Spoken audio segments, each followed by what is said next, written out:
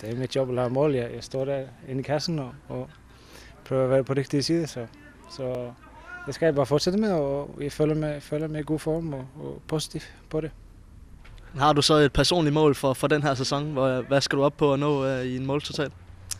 Man skal jo altid have øh, en målsætning, men uh, jeg, jeg, jeg, tror, jeg tror, det er bedre, at jeg holder det til mig selv. Jeg har snakket med Bo om det. Han siger, at han vil gerne have 22 mål ud af dig. Hvis jeg nu siger 22, ser du så det som realistisk?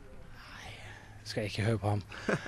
men uh, hvis, hvis, de får, hvis, hvis de får over, over 15 mål, så, så er jeg glad. Og, uh, men 22, det, det, det er stort pres, men han er jo, han er jo en mærkelig menneske, så, så, så vi får håbe, at han er ret, er ret i det.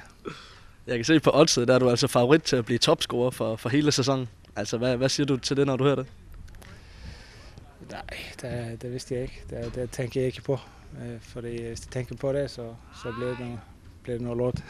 men øh, men øh, nej, det er bare en stor ære. Folk, folk kan lade mærke på mig, og, og jeg spilte kun 15 kampe fra start i, i sidste sæson, og, og så synes jeg, det er lidt mærkeligt, at folk tror, at jeg bliver topscorer nu, men, men jeg håber det bedste, og vi skal bare holde med skade, skadefri, og vi skal bare sørge for at vinde nogle kampe, fordi det, det er jo det, det handler om.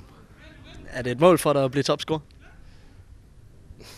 Nej, det, det er bare et mål, at vi skal ligge op i top 6, og så tager det derfra, men hvis vi, hvis vi skal ligge op i top 6, så, så skal jeg lave nogle mål.